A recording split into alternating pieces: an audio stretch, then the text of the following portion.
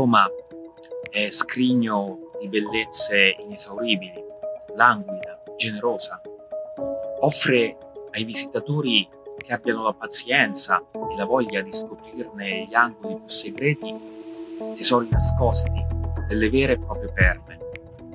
In occasione della visita alla Galleria Nazionale d'Arte Antica di Palazzo Barberini, in uno dei luoghi più belli di Roma, in uno scenario incastonato fra palazzi meravigliosi, c'è per esempio il piccolo giardino privato della villa, ciò che resta dei più ampi, magnifici giardini che sono citati e magnificati nelle cronache dell'epoca. Si tratta di un giardino anche malinconico, non particolarmente curato, spoglio, e però è un luogo magico, un piccolo scrigno circondato da edifici meravigliosi.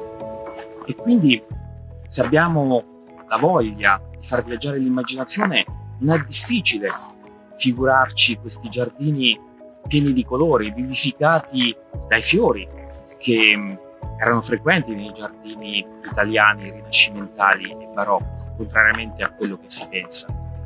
Non è difficile immaginare la limonaia ottocentesca eh, ricolma delle collezioni di agrumi frequenti all'epoca, epoca di collezionismo di piante provenienti da varie parti del mondo.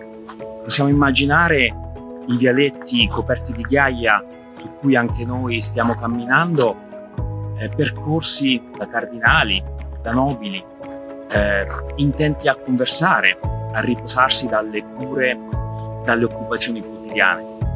Tutto intorno a noi esiste una grande bellezza. Se soltanto abbiamo la voglia di rallentare i nostri ritmi quotidiani, di fermarci a guardare, di scoprire, eh, ci rendiamo conto di come il meraviglioso ci circondi ogni giorno.